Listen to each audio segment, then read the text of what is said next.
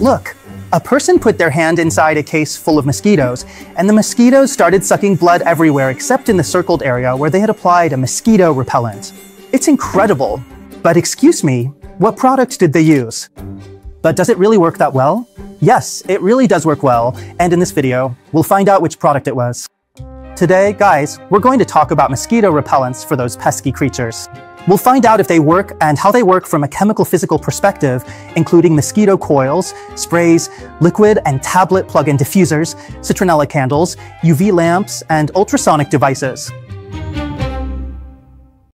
Let's start by saying that the most effective and safest mosquito repellents are physical or chemical solutions. Physical methods include all measures that physically block mosquitoes. So that means mosquito screens, obviously, but also mosquito nets, appropriate clothing, and air curtains. What are curtains? You know when you enter a place and often you find there's a fairly strong airflow right before the entrance? Well, those are air curtains and they're used to physically prevent insects, including mosquitoes, from entering. Chemical repellents, on the other hand, contain chemical substances that irritate or disorient the mosquitoes and therefore prevent them from coming closer. And these substances can be dispersed into the environment or applied directly to the skin. Among these, we can find traditional sprays, roll-ons, and spreadable creams, and they all contain an active ingredient, in other words, a substance that acts against mosquitoes. There are four substances that work and that have been approved by the European Chemicals Agency. Now we'll look at them together and be ready to take a screenshot so you can remember them. 1. We have diethyltoluamide, but on the ingredient list, you might also find different names, including DEET, N, N-diethyl-3-methylbenzamide, or N, N-diethylmetatoluamide. 2. Icaridin, also commonly called KBR 3023 or picaridin. 3. Ethyl butylacetylaminopropionate, also known as IR 3535. 4. Paramenthane 3, 8-diol, also commonly known as PMD. Those are the four substances that have been approved for topical use, so for use on the skin, that work best. But there are actually other products on the market as well, such as those containing eucalyptus or geraniol, which are less effective. And then there are also those based on citronella, lavender, and bergamot, which are even less effective. So if any of you have ever said, oh, but mosquito repellents don't work for me, I still get that you should ask yourself what substance was in the product you were using. Are you sure you used it correctly? Because how effective it is depends not only on the substance, but also on many other factors, and to achieve the best results, you need to follow the instructions on the package.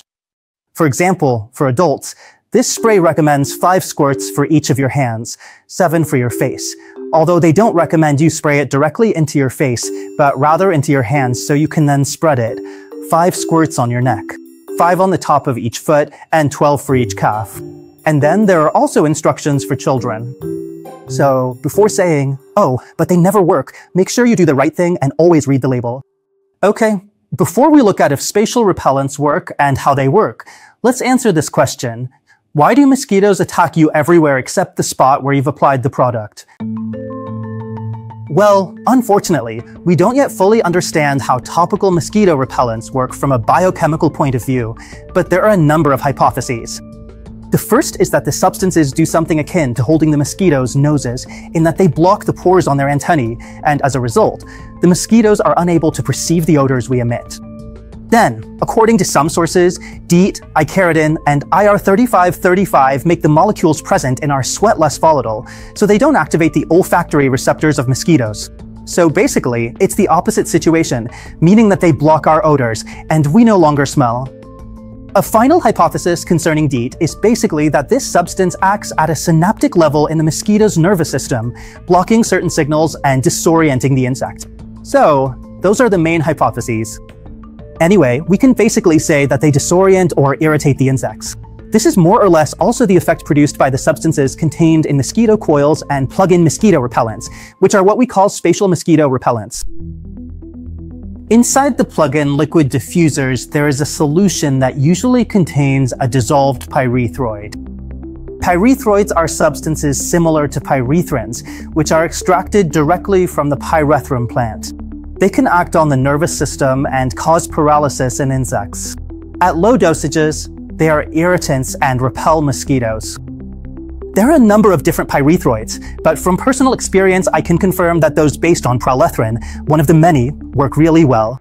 You plug in the diffuser, and the mosquitoes don't enter the room. I've spent entire summers with all the windows open without being bothered by a single mosquito. Prallethrin.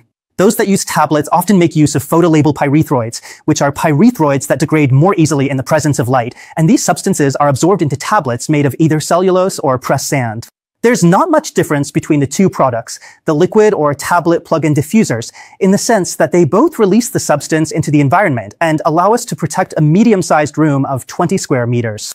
However, it's important to note that the ones that use tablets provide protection for a shorter period of time. Let's move on to mosquito coils. Wait a moment, Dena. Could you tell us what product the guy at the start of the video used? Okay, you're right. I almost forgot.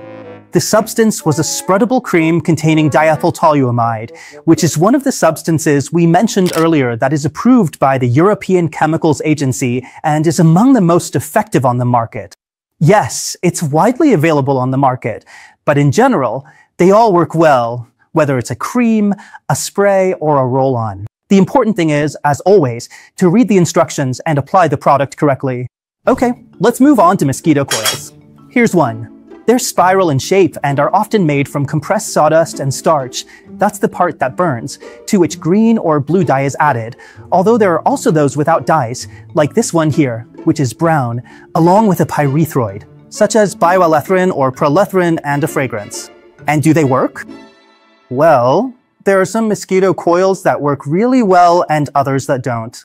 To make the right choice, check that this symbol is on the packaging.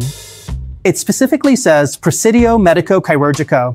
This means that the product contains an insecticidal substance that works and has been approved by the Ministry of Health as safe and effective.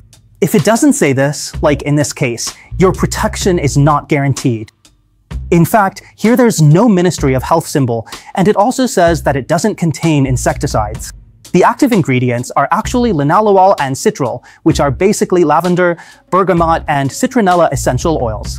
These essential oils do not ensure an adequate level of protection. This one, which does have the symbol, contains prallethrin, which is a pyrethroid and acts as an insecticide. So, if we want a product that works, we should always read the label. It should be noted, however, that mosquito coils generally have a relatively limited range of action, an area of between 2 and 4 meters in diameter around the coil. And since they are used outdoors, the wind can carry away the pyrethroid, the active ingredient, thus reducing their effectiveness. All right, finally, let's move on to two methods related purely to physics, lamps and ultrasonic devices. Many insects are attracted to light. We all know that. Especially in the summer, if you just look at any street lamp, you'll see countless arthropods crashing into the light. You know what I'm talking about? They are all flying insects with positive phototaxis, meaning they are attracted to light, particularly type A ultraviolet rays with a wavelength of between 315 and 400 nanometers. Insecticidal lamps take advantage of this by attracting insects with type A ultraviolet light, and when the insects touch the electric grid inside the device, they are electrocuted and die. The disadvantage of these lamps is that they're not selective, and they not only kill mosquitoes, but also other insects, such as moths.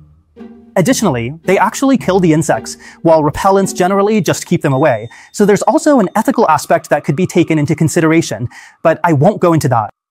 Ultrasonic sound waves, which are acoustic waves with a frequency higher than 20,000 hertz, are supposed to repel mosquitoes. In fact, if you search for mosquito repellent and ultrasound on YouTube, you'll find a number of videos that last about an hour with a black screen emitting ultrasound. Well, in reality, no ultrasonic devices actually appear to work.